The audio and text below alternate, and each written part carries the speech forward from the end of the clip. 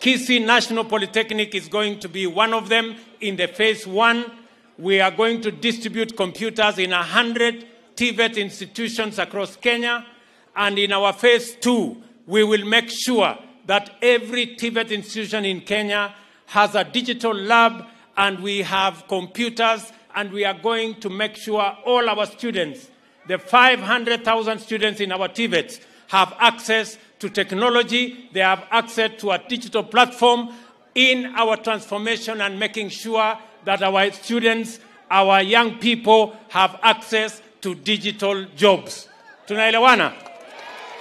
Mimi nataka nikirudi hapa, mimi nataka nikirudi hapa Kisii, hapa Kisii National Polytechnic, niambiwe ya kwamba vijana mia tano ama elfu moja sasa wanafanya kazi kupitia kompyuta ambazo tumezileta hapa kisi National Polytechnic. Tunaelewana jameni? Eh? Mumenishika?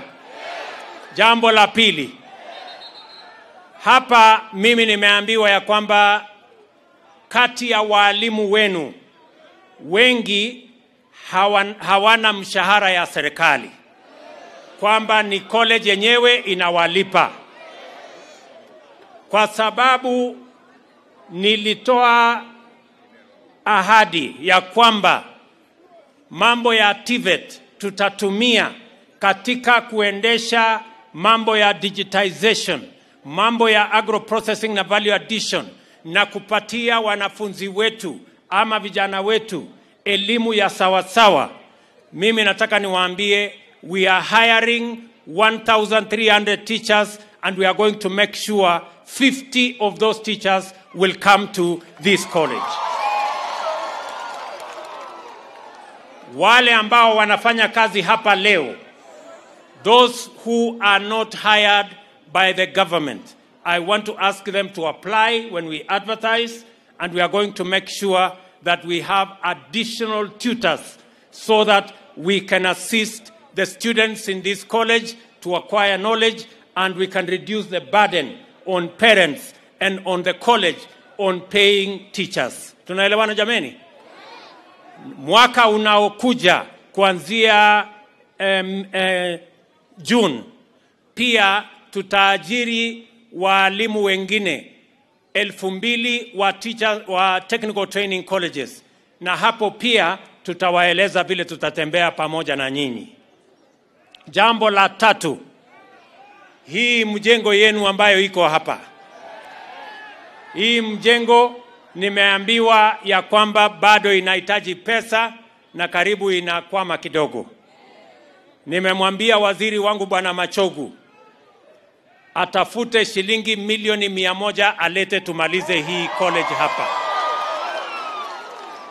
We are going to assist this college by making sure that we complete this structure ili tuhakikishe ya kwamba wanafunzi wa hapa wanapata mahali pazuri ambayo watasomea, ndio tuwapange vijana hawa wetu na elimu ya sawasawa, ndio waweze kuchangia katika kupeleka taifa letu mbele, na vile vile muweze kujipanga na ajira tukienda mbele. Jambo la nne, mimi nataka nimwambie waziri wetu wa mambo ya housing ya kwamba waziri wetu wa mambo ya housing, hapa tuko na changamoto kubwa sana ya mambo ya hostels hapa katika college hii.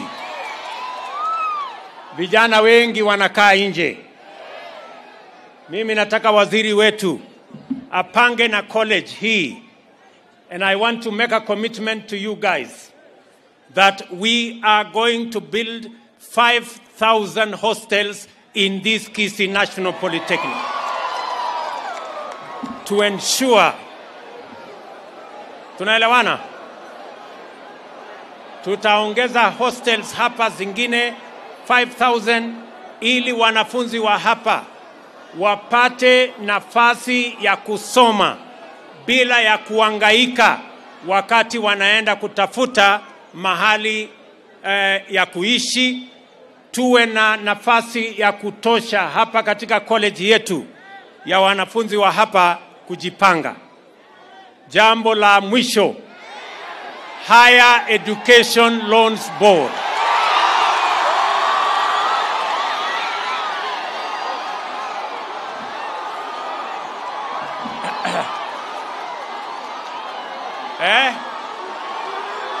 Hapo. Haya.